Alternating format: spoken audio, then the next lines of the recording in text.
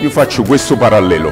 La costruzione per me è un malato, quindi io mi devo mettere di fronte alla, a quella costruzione come un medico. Purtroppo con uno svantaggio che quel malato non parla.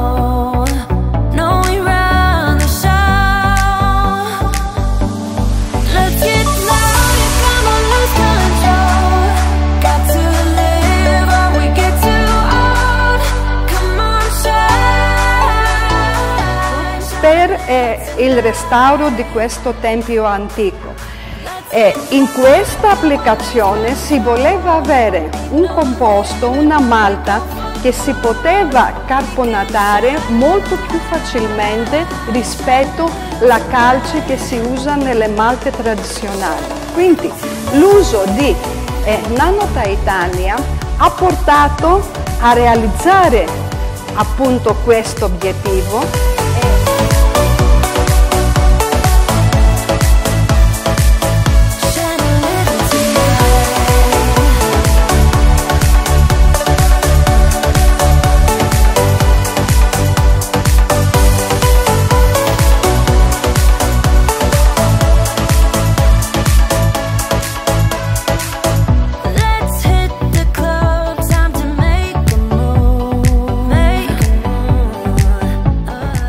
succedeva? Che ovviamente finito un cantiere eh, gli operai andavano a casa, il giorno dopo ritornavano e per allettare il cantiere successivo stendevano un altro strato di malta sul ripiano e quindi il cantiere viene spesso definito anche dalla giusta posizione di due strati di malta che poi per schiacciamento e per essiccazione in momenti differenti perché uno si è consolidato il giorno prima, l'altro successivamente vengono a mettere in evidenza proprio questi orizzontamenti.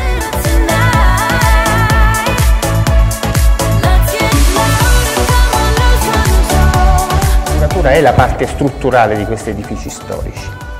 L'approccio che dobbiamo avere lo conosciamo, è un approccio